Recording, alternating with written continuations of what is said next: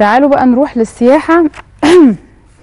والغرف السياحية تبدأ تلقي الطعون والتظلمات على مرشحي الانتخابات الاتحاد. بتبدأ الغرف الخمسه لاتحاد الغرف السياحية في تلقي طلبات التنازل والطعون على السادة المرشحين المقبولين وكمان التظلمات من المستبعدين في انتخابات الاتحاد يوم الأحد اللي جاي. بتستمر لمدة ثلاث أيام وذلك بعد أسبوع واحد من غلق باب الترشح لانتخابات الغرف ومجلس إدارتها.